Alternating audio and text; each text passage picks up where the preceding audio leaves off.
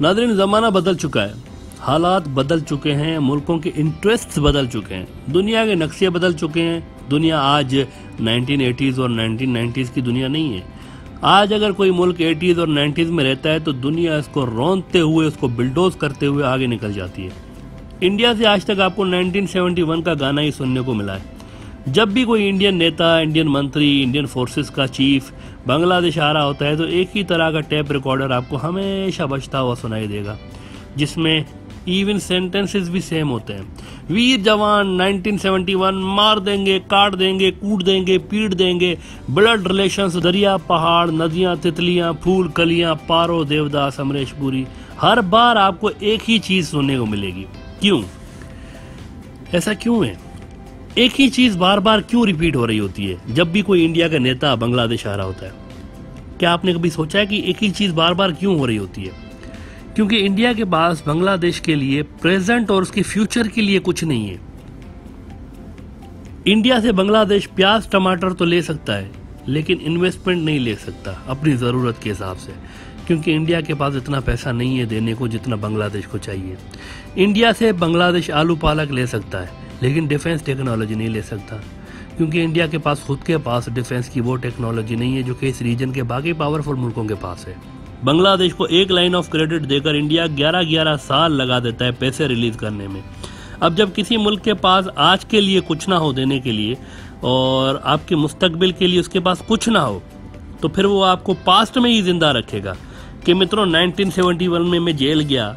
मित्रों, हमारी पुराने रिलेशंस सचिन तेंदुलकर धोती, कुर्ता एक जैसे कपड़े पहनते हैं, आप और हम एक जैसा खाते हैं। जय हिंद।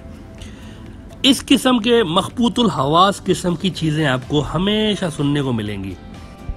आप अगर एक काम करें 1980 में भी अगर आप स्पीचेज उठा के देख लें, इंडियन जो करता धरता है, उनमें भी आपको यही बातें सुनने को मिलेंगी, आज भी आपको यही बातें सुनने को मिलेंगी। लेकिन अब मसला ये है कि ये जो नई नस्ल है, ये बड़ी होशियार है।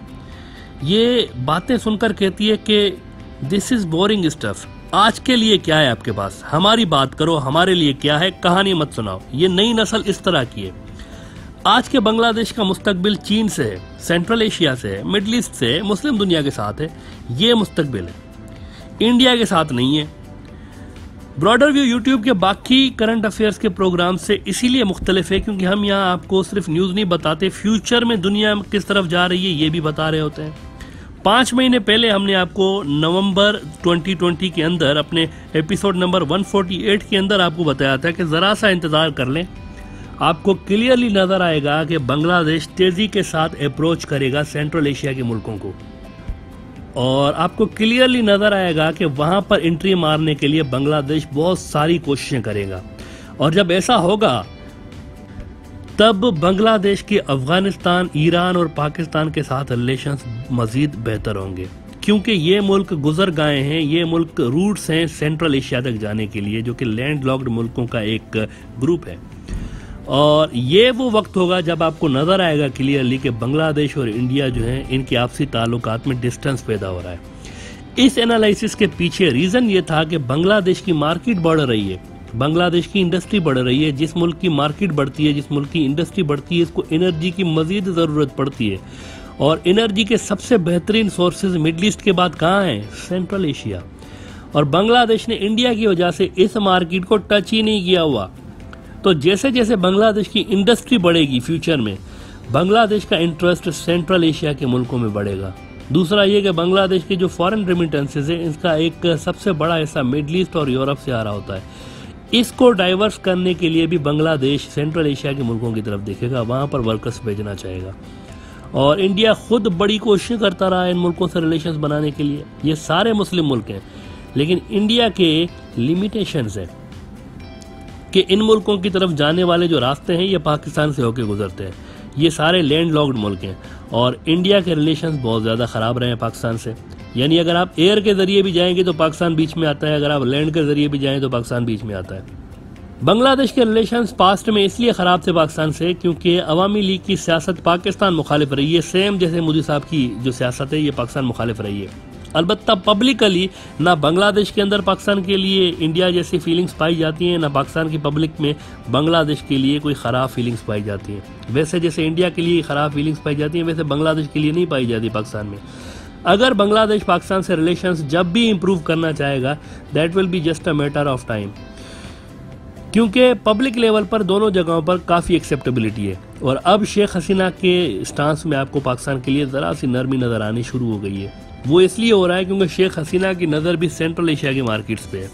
चीन के साथ साथ सेंट्रल एशिया को वो फोकस कर रही हैं। और इन दोनों इलाकों में पाकिस्तान हैज़ अ गुडविल और रोल प्ले कर सकता है पाकिस्तान बांग्लादेश के लिए खास तौर पर चीन के फार वेस्ट और सेंट्रल एशिया तक कनेक्टिविटी दिलाने के लिए, क्योंकि पाकिस्तान है ports that are linked with these areas अब जनाब, इस सिलसिले में हुआ यह है कि बांग्लादेश ने उज्बेकिस्तान से ऑफिशियली कहा है कि आप अपनी पहली एम्बेसी खोलें काउंसलेट खोलें ढाका के अंदर, और उज्बेकिस्तान खोलने जा रहा है। वेरी सुन उज्बेकिस्तान अपनी एम्बेसी अपना काउंसलेट बांग्लादेश के अंदर, ढाका के अंदर खोलने जा रहा है। आप ज़रा अंदाज़ा लगाएँ कि बांग्लादेश को 50 साल के ऊपर हो चुका है, मुल्क बने हुए। और आज तक बांग्लादेश सेंट्रल एशिया से इतना कट ऑफ़ रहा है इंडिया के कैंप में होने की वजह से कि बांग्लादेश के अंदर कई सेंट्रल एशियन मुल्कों के एम्बेसी ही नहीं है कौंसलेट ही नहीं है। यानी इतने साल बांग्लादेश की कुल कायनात इंडिया ही रही है। हालाँकि सेंट्रल एशिया, जैसे कि हमने कहा कि मुस्लिम ममालिक का एक ब्लॉक है जो कि अफ़गानिस्तान और सोवियत यूनियन की जंग के बाद आज़ाद हुए थे। और मुस्लिम होने की वजह से इनके अंदर और बांग्लादेश के अंदर बहुत सारी कल्चरल सिमिलरिटीज आपको मिलेगी। That means people to people relation और टूरिज़्म की जो इंडस्ट्री थी, ये तो बड़े आराम के साथ डेवलप हो सकती थी इस सारे टाइम के अंदर। लेकिन ऐसा नहीं हो सका पास्ट में। अच्छा वैसे जो सुन्नी मुसलमान है इनके नज़दीक कुरान पाक के बाद सबसे अहम किताब इमाम बुखारी की सैल बुखारी है और अहादीस की किताबों में ये सबसे अहम बुक मानी जाती है।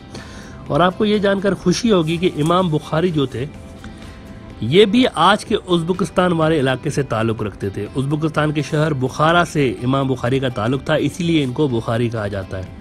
इसके अलावा इस्लामी तारीख अगर आप पढ़ेंगे तो समरकंद शहर को इस हवाले से आप एक स्पेशल मकाम पे देखेंगे। और ये भी उज्बेकिस्तान के अंदर है। और उज्बेकिस्तान ऑयल और गैस के हवाले से अमीर मुल्क है, यानी वहाँ पर बड़े रिसोर्स हैं एनर्जी के हवाले से। जिनकी फ्यूचर में बांग्लादेश को मजीद ज़रूरत पड़ने जा रही है। और बांग्लादेश ने अब ऑफिशियली इन मुल्कों को अप्रोच करना शुरू कर दिया है कि आप हमारे साथ डिप्लोमेटिक रिलेशंस आगे बढ़ाएँ। और डिप्लोमेटिक रिलेशंस के बाद जो नेक्स्ट स्टेप आता है, जो नेक्स्ट मरला आता है, ये ट्रेड और टूरिज़्म का मरला आता है। और ये वो टाइम होगा जब पाकिस्तान बांग्लादेश के लिए एक रोल प्ले कर रहा होगा फ्यूचर में।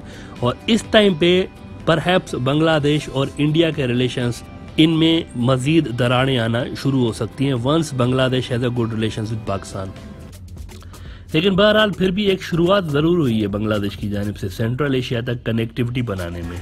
और वो यूँ कि बांग्लादेश ने पहली बार अपने स्किल्ड वर्कर्स वहाँ भेजने शुरू किए हुए हैं, जिनके ज़रिए फिर बांग्लादेश में फॉरेन रिमिटेंसेज यानी बाहर का पैसा आ रहा होता है। ऐसे में गुड्स की एक्सपोर्ट अभी तक इस लेवल पर स्टार्ट तो नहीं हुई, लेकिन सर्विसेज़ के लिए बांग्लादेश की जो सप्लाई है सेंट्रल एशिया में, वो शुरू हो चुकी है, जिसमें मजीद बढ़ावा देने की ज़रूरत है, क्योंकि इस मार्केट में बहुत ज़्यादा पोटेंशियल मौजूद है बहरहाल।